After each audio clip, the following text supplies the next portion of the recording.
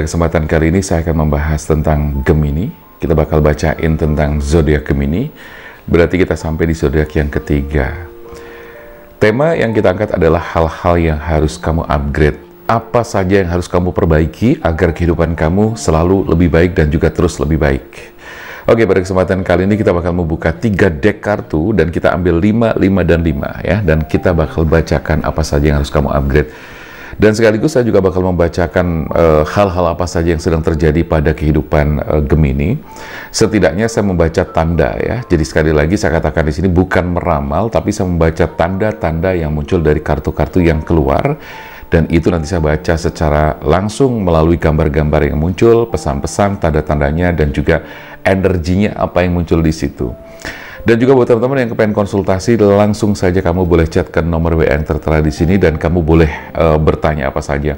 Personal reading, self healing atau healing terapi atau juga spiritual life coaching juga boleh. Terus buat teman-teman yang juga kepengen melakukan pembersihan energi dan juga buka aura juga boleh karena nanti di situ ada hal-hal yang kita lakukan, ada terapi-terapi khusus yang kita lakukan dan sekaligus kita memberikan materi-materi sebagai bentuk membangun kesadaran secara batin. Oke. Okay. Langsung aja teman-teman kita bakal shuffle kartunya. Buat Gemini silahkan tonton video ini sampai dengan selesai nanti karena ada banyak uh, ada banyak hal, ada banyak hal-hal yang tentu harus uh, kamu perhatikan. Syukur-syukur tidak terlalu banyak yang harus di-upgrade gitu kan. Tetapi ya itu tadi kembali lagi bahwa kehidupan ini kan sangat-sangat beragam. Saya yakin banyak orang yang mengalami permasalahan-permasalahan, bahkan hampir setiap orang mengalami suatu permasalahan. Tetapi permasalahannya ada yang rata-rata sama, ada yang juga uh, berbeda tergantung case-nya masing-masing. Ya. Oke, okay, dua kartu sudah keluar, ada The Empress dan juga ada Ten of Sword, ada Queen of Sword. Oke. Okay. Di sini bisa kebaca apa pun ya tentang percintaan, kehidupan, keuangan, karir, rezeki ya. Oke. Lima kartu pertama saya baca terlebih dahulu. Ada sebuah ekspektasi yang dimiliki oleh uh, Gemini. Ada satu keinginan cita-cita dan impian yang diinginkan oleh Gemini sudah sejak lama, tetapi sepertinya kenyataan tidak berbanding lurus dengan eh, harapan-harapan uh, dan juga impian. Karena di sini saya melihat bahwa ternyata uh, dari apa yang diinginkan justru uh, yang terjadi adalah sebaliknya. Ada perasaan sakit yang sangat luar biasa. Ada keadaan-keadaan yang membuat uh, Gemini ini sangat tersakiti, bahkan sangat terkhianati oleh seseorang yang dia percaya selama ini, oleh seseorang yang justru dianggap uh, sudah bukan siapa-siapa lagi ya, seperti saudara, seperti ya pokoknya orang sendiri. Nah, orang-orang dekat ya, orang dekat. Orang dekat itu bisa pasangan ya, bisa pacar, pasangan, suami atau istrinya atau siapa pun yang kita lihat di sini adalah orang dekat. Nah, justru orang dekat itulah yang justru membuat kebanyakan justru yang justru membuat yang membuat uh, Gemini ini tersakiti gitu loh. Karena ternyata di situ ada pengkhianatan. Nah, pengkhianatan di sini bisa berbagai macam kalau di masalah asmara berarti kamu dikhianati oleh pasangan kamu sendiri. Kalau terkait dengan pekerjaan bisa jadi kamu dikhianati oleh teman kerja kamu sendiri. Kalau pengkhianatan di lingkungan pertemanan berarti ada teman dekat kamu yang justru mengkhianati kamu sendiri. Itu yang terjadi pada uh, Gemini saat ini. Energi ini bisa maju mundur teman-teman ya. Bisa sudah terjadi kemarin atau dulu atau bahkan sekarang ini sedang terjadi atau akan ada indikasi itu terjadi ke depannya nanti ya. Nah, paling tidak ketika teman-teman um, mengetahui ini dan itu ternyata belum terjadi, minimal saya berharap ini bisa menjadi sebuah warning, uh, sebuah kehati-hatian ya, agar teman-teman Gemini bisa lebih berhati-hati dalam uh, melaksanakan kehidupan sehari-hari, dalam berucap, bertindak uh, dan apa saja ya, termasuk berpikir juga. Karena segala sesuatu, tindakan, ucapan itu kan semuanya dimulai dari kita, apa pikiran kita. Ya, jadi harus berhati-hati dimulai dari pikiran.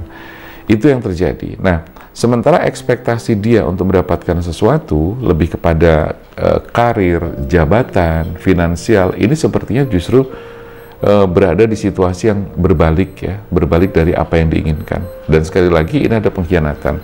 Kalaupun belum ada pengkhianatan, saya berharap uh, teman-teman Gemini harus berhati-hati karena ada orang di sekitar kamu yang uh, merasa kayak tidak suka sama kamu tanpa alasan yang jelas dan dia berusaha menjatuhkan kamu juga, berusaha menikam dari belakang. Nah itu yang harus diwaspadai.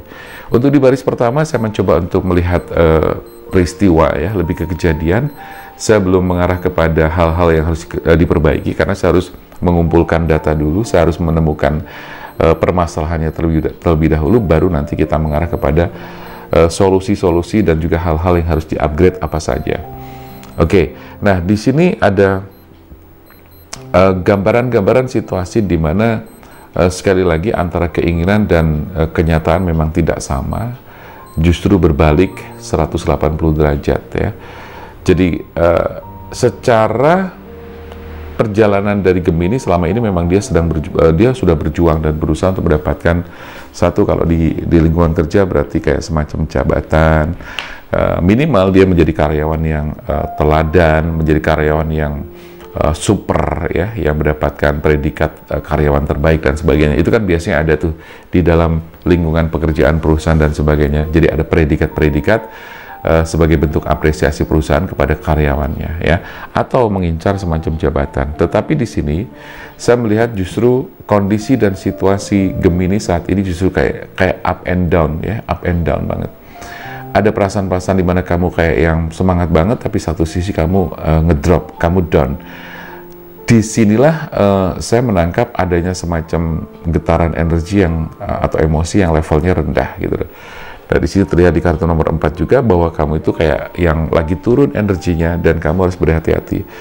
Dan perasaan yang mendominasi saat ini atau emosi yang mendominasi saat ini adalah emosi kesedihan.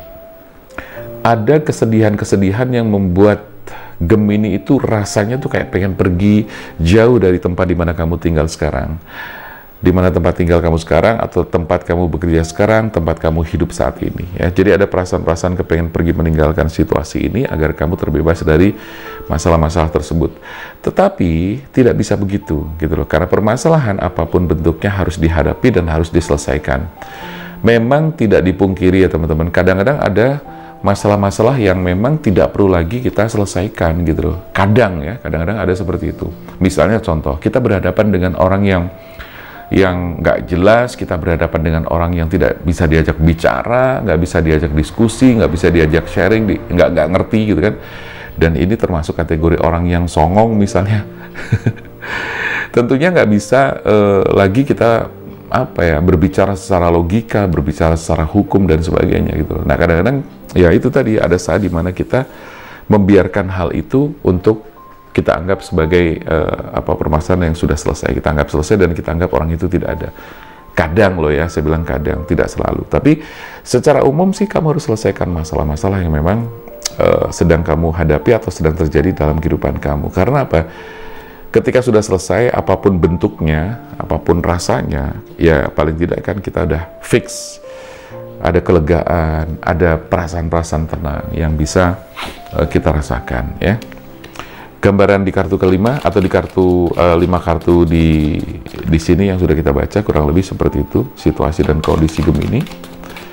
Oh ya teman-teman juga boleh silahkan ya usulkan eh, ide-ide tema-tema yang kepengen kamu usulkan silahkan. Saya selalu membuka kesempatan buat teman-teman dan kemarin sudah ada yang kita angkat juga temanya ya judulnya karma untuk orang ketiga ya itu itu adalah usulan. Yang lain silahkan yang kepengen usul. Ya. Jadi kalau zodiak zodiak kan saya biasanya coba selang-seling ya. E, bikin video zodiak dua, nanti yang satu umum bebas. Nah, yang bebas ini silahkan teman-teman kasih usul pendapat atau saran tema apa yang bakal kepengen diangkat ya. Nanti bakal saya pilih satu persatu atau paling tidak kalau misalnya ada yang lain bagus-bagus kita buat stok untuk uh, video berikutnya. Oke, okay. saya akan coba lihat di sini ada hal-hal yang harus kamu perbaiki, harus kamu upgrade apa saja saya melihat di sini adalah ada romantic feelings, kemudian ada uh, passion ya, kita naikin dulu sedikit.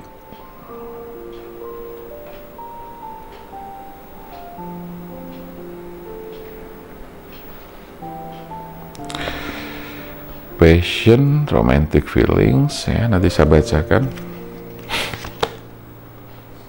Ada express your love Free yourself.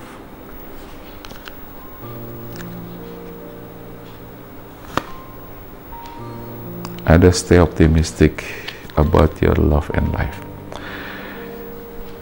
Hal-hal yang harus kamu upgrade lebih ke apa ya? Ya semuanya ya, nggak hanya uh, motivasi untuk mengupgrade uh, yang perlu kamu uh, perbaiki dan benahi, tapi secara energi juga saya akan bicara ke situ juga.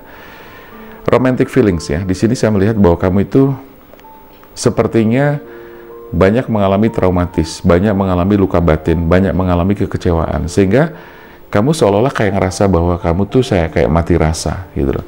Mati rasa. Di hal romantic feelings ini kamu seolah-olah kayak uh, kadang-kadang nggak punya cinta kayak ngerasa nggak punya cinta. Kadang-kadang kayak kayak udah males berurusan dengan cinta. Nah inilah yang harus kamu perbaiki karena bagaimanapun pada hakikatnya manusia itu kan tetap butuh cinta, butuh pasangan, butuh merasakan uh, jatuh cinta, kasih sayang dan sebagainya. Nah, ketika teman-teman Gemini kok justru menghindar dari situasi ini, ini adalah hal yang keliru menurut saya. Karena justru di sini yang harus kamu perbaiki adalah apa? Level energi kamu yang negatif dirubah menjadi positif. Yang yang mungkin tadinya berpikir negatif dirubah menjadi positive thinking. Dan juga mungkin yang kamu tadinya overthinking, ya kamu harus kendalikan dan kontrol pikiran kamu. Agar apa? Pikiran-pikiran jelek, pikiran-pikiran buruk yang negatif tidak berkembang mendominasi kamu. Gitu. Nah itulah yang harus kamu perbaiki, harus kamu upgrade. Dimulai dari cara berpikir, mindsetnya, ya yang tadinya overthinking kamu kontrol, yang tadinya negative thinking kamu rubah menjadi positif. Itu gambaran-gambaran yang sangat jelas untuk saya sampaikan kepada teman-teman Gemini. Karena apa? Kalau terus-terusan seperti itu, itu sangat merugikan diri kamu sendiri. Itu. Yang kedua, di kartu kedua, di baris kedua, di sini ada passion. Um, saran buat Gemini, kamu ini berhubungan dengan pekerjaan ya, berhubungan dengan pekerjaan, bisnis maupun karir akan sangat lebih bagus ketika Gemini di sini melakukan pekerjaan justru yang sesuai dengan passion. Tapi saya melihat beberapa Gemini itu tidak sesuai dengan passion, sehingga di sini Gemini um, tidak bisa meng mengekspresikan perasaannya, tidak bisa mengekspresikan kebahagiaannya dan sebagainya. Jadi kamu menjalani hari-hari kamu dengan uh, apa di pekerjaan kamu itu dengan kemurungan, dengan nggak happy, nggak fresh dan sebagainya, dan kamu tidak bisa mengekspresikan bahwa inilah diri kamu kamu tidak bisa menjadi diri sendiri yang sesungguhnya. Karena apa? Kamu menjalani pekerjaan kamu ini kayaknya seolah hanya sekedar demi yang penting kerja gitu loh. Nah justru inilah yang harus kamu upgrade, inilah yang harus kamu perbaiki. Eh, bagaimana kamu bisa menciptakan eh, sebuah situasi dan pekerjaan yang sesuai dengan passion kamu memang tidak mudah gitu kan. Uh, artinya begini teman, kalau misalnya di sini kamu belum sesuai dengan passion kamu, bukan berarti kamu langsung resign terus kemudian enggak gitu loh. Tapi kamu pikirkan terlebih dahulu, pertimbangkan terlebih dahulu, pelan-pelan cari sesuatu atau pekerjaan yang sesuai dengan passion kamu, gitu loh. Jadi semuanya bertahap ya.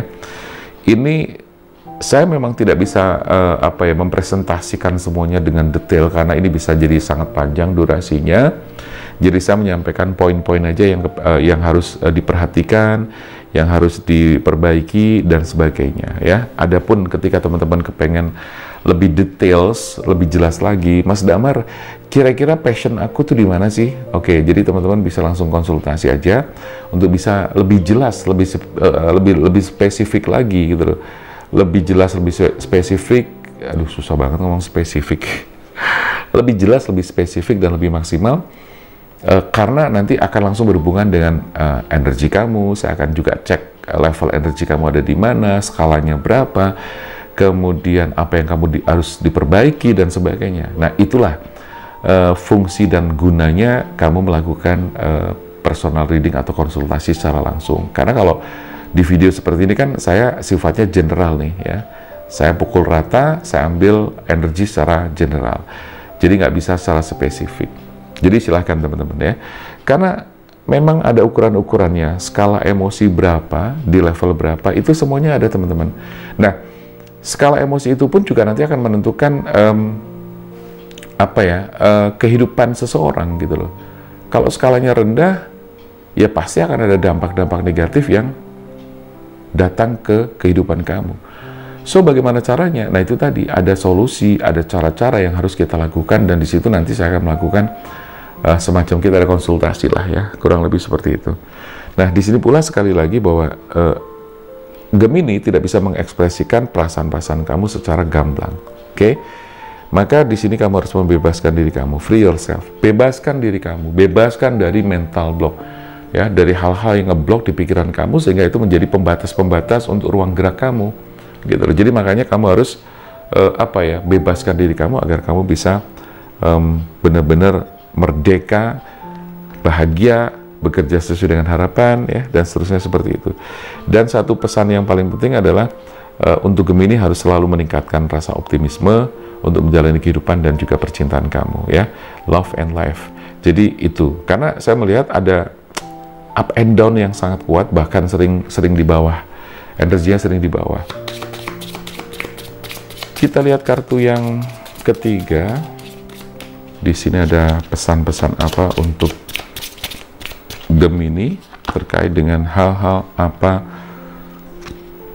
yang harus kamu perbaiki. Ada forgiveness ya. Kita lihat lagi selanjutnya romance. Di sini ada big habit change. Listen to your intuition dan yang terakhir di sini adalah not the right time. Jadi uh, Gemini dengarkan baik-baik apa yang saya sampaikan di sini ada forgiveness. Artinya bahwa di sini ada situasi, ada perasaan-perasaan yang masih mengganjal di hati kamu, di, di batin kamu, terkait dengan uh, kamu merasa kayak ada luka batin, sehingga kamu sulit sekali memaafkan seseorang atau orang lain. Nah, di sini pesannya ya, hal-hal yang harus kamu perbaiki adalah apa? Ya kamu harus bisa melakukan apa ya? Forgiveness terapi. Ya, ada terapinya. Yaitu terapi memaafkan. Bagaimana? Bagaimana memaafkannya? Bagaimana caranya? Ada ada terapinya. Tapi yang jelas kamu harus bisa memaafkan diri kamu sendiri, ya, memaafkan orang lain yang menyakiti kamu, berdamai dengan diri sendiri, keadaan dan peristiwa, sehingga forgiveness terapi ini perlu dilakukan. Nah, ketika kamu sudah melakukan ini, romance yang tadi saya bilang bahwa di sini kamu kayaknya nggak eh, nggak uh, ada perasaan-perasaan ini deh, apa jadi kayak mati rasa dan sebagainya. Nah, di sini akan muncul ketika kamu udah rilis ikhlas ya melakukan forgiveness terapi akan muncul uh, apa ya perasaan-perasaan cinta yang indah dan ini akan mengubah kebahagiaan yang besar buat kamu ya sehingga kamu bisa benar-benar me menikmati kehidupan ini dengan sangat indah karena saya sering mengatakan teman-teman bahwa hidup ini indah, gitu loh. Nah, mau indah atau tidak, semua kan kembali bagaimana cara pandang kita, bagaimana cara mensikapinya. Tapi pada dasarnya, pada hakikatnya, hidup ini tuh sangat indah, gitu loh. Ya, jadi manfaatkan semaksimal mungkin. Jangan sampai larut di dalam kesedihan. Jangan masuk ke dalam pusaran-pusaran yang membuat kamu ketarik terus untuk sedih dan kecewa misalnya ya jadi kamu harus rubah kebahagiaan itu dan ini akan terjadi dan dengarkan um, intuisi kamu karena bagaimanapun intuisi adalah bagian dari pesan-pesan Tuhan melalui batin kita karena setiap saat setiap kali ketika kita membutuhkan sesuatu kita berdoa kita butuh solusi dan sebagainya insya Allah Tuhan itu selalu memberikan pesan-pesan melalui diri kita ya. Maka di dalam diri kita itu kan kayak ada dua suara kan ya. Yang satu iya, satu tidak, satu begini, satu begitu, yang satu ngajak uh, ke sini, yang satu ngajak ke sana, yang satu berkata iya, yang satu menolak ya, dan sebagainya seperti itu. Nah, itulah suara batin. Di mana di situ pasti ada campur tangan Tuhan yang selalu menyelipkan pesan-pesan. Nah, ketika kamu peka, ketika kamu sudah memiliki kesadaran batin, mindfulness-nya bagus, maka di situ kita bisa membaca pesan Tuhan itu yang mana, gitu loh. Ya jadi buat Gemini kurang lebih seperti itu. Dan ini adalah bukan waktu yang tepat buat mengeluh buat uh, apa namanya berkeluh kesah buat bersedih terus menerus karena saatnya kamu untuk berbahagia uh, big happy change ya rubah kebahagiaanmu ya dengan sangat luar biasa dengan sangat indah dan sebagainya. Ya jadi kurang lebih seperti itu untuk Gemini. Mudah-mudahan ini bisa membawa uh, motivasi yang baik buat Gemini memberikan sugesti yang positif dan juga mencerahkan untuk Gemini. Sekali lagi buat teman-teman yang pengen konsultasi silahkan aja langsung chat ke nomor WA yang tertera di sini dan kita bisa ketemu. Oke? Saya Damar Aji salam keajaiban dan sampai jumpa